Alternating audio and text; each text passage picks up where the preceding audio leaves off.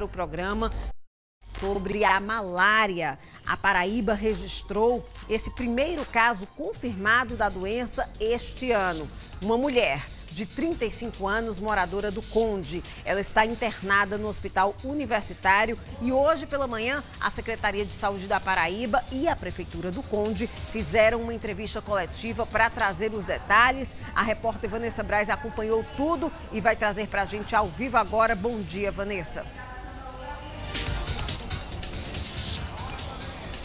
Oi, Karine, bom dia para você, bom dia a todos que nos acompanham no Tambal da Gente. Então, Karine, terminou agora há pouco uma reunião com a Gerência de Saúde, de Vigilância em Saúde da Secretaria do Estado da Saúde e também da Secretaria de Saúde do município do Conde. Vou conversar agora com a Renata Martins, ela é secretária de Saúde aqui do município, para saber quais são as estratégias que estão sendo traçadas e o que ficou definido nessa reunião para tentar combater a proliferação desse mosquito que provocou aí o diagnóstico dessa paciente do município do Conde com malária. Bo bom dia. Bom dia, é um prazer estar aqui falando para vocês. É, na reunião, nós estabelecemos as ações conjuntas da Secretaria de Estado com a Secretaria Municipal de Saúde.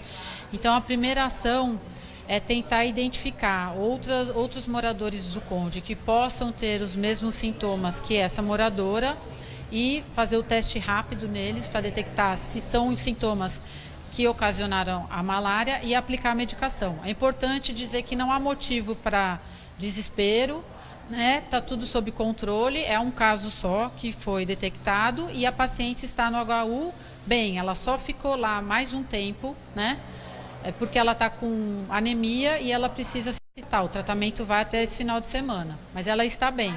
Nós estamos, é, vamos investigar na região em que ela trabalha e na região em que ela mora, se há outros pacientes, com outros usuários com a mesma sintomatologia.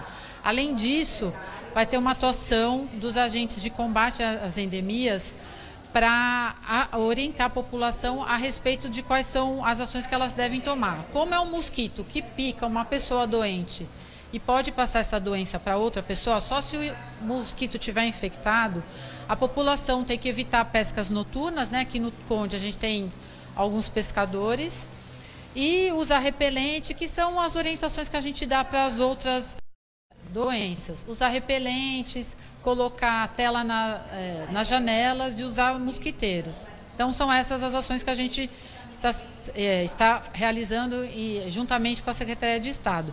Vai ter uma capacitação também para uma infectologista das equipes das unidades básicas de saúde do Conde, que são nove, para aguçar o olhar dos profissionais né, para esse tipo de doença. Renata, você falou em sintomas. Quais são esses sintomas que um paciente pode vir apresentar e que desperta essa atenção e esse cuidado para procurar um profissional?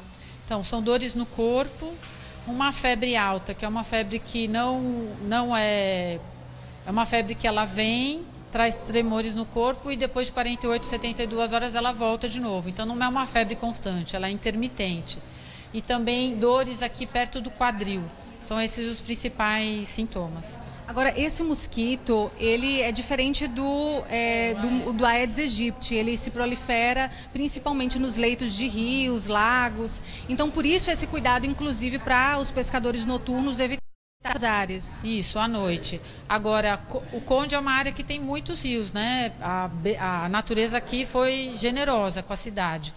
Então, mais importante do que propriamente o próprio mosquito, né? A Secretaria de Estado também está borrifando é, um produto né, que contém o, os mosquitos aqui na região. Vai passar também aquele carro borrifando aquele, o inseticida. Mas mais importante do que isso é identificar outros possíveis casos, porque o mosquito ele só tem nocividade se ele pica alguém que está doente. Então, mais importante a gente identificar se há outras pessoas que podem já estar com sintomas de malária. E a presença da malária, ela não é comum aqui na região, ela é mais comum na região norte do estado. É, é possível que a vinda de venezuelanos para cá possam ter trazido a malária para aqui? Então, a malária é uma, é, ela não é endêmica aqui na Paraíba, mas ela é endêmica no norte do Brasil, né? E também na América Latina. Não é possível afirmar que foram os venezuelanos que, que trouxeram para cá. É, seria da nossa parte fazer essa afirmação. Por isso que a gente diz que está fazendo investigação. Aqui no Conde também nós recebemos muito tráfico de caminhoneiros, tem algumas indústrias aqui na BR. Então não dá para se afirmar de, onde, é, de onde apareceu é, essa pessoa infectada que infectou a, a moradora daqui. Nós precisamos mesmo acabar a investigação para ter essa conclusão. Essa é uma região também muito turística. Agora, é possível que uma pessoa infectada com esse protozoário que provoca a malária, ela não apresente sintomas? Sim, é possível que ela não apresente sintomas.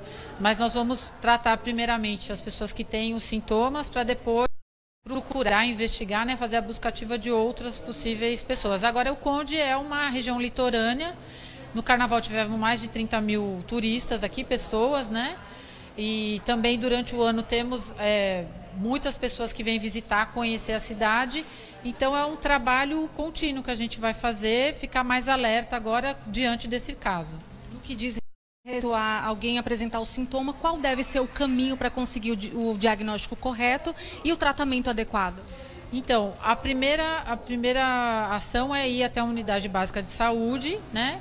que aqui os profissionais do Conde vão ser é, capacitados para ter esse olhar mais específico para essa doença. E aí os profissionais vão fazer, o, a depender de cada caso, vão aplicar o teste rápido para verificar se é caso de um novo caso de malária ou não, né? Então muito obrigada pelas informações. É, Karine, a nossa equipe também esteve no local, na residência onde essa paciente ela mora, e nós conversamos com a filha e também uma pessoa que está responsável pela parte da pulverização naquela região para evitar que o mosquito se prolifere. Então daqui a pouquinho a gente traz informações também relacionadas a isso. Volto com você aí no estúdio. Obrigada, Vanessa. Então fica combinado assim. Ainda hoje nós vamos voltar a falar sobre esse assunto da malária, que não é para as pessoas ficarem em pânico, mas sim ficarem em alerta. A gente vai fazer uma pausa rapidinha agora aqui no Tambaú da gente e no próximo bloco a gente traz mais sobre esse assunto e as notícias das últimas horas. Não sai daí.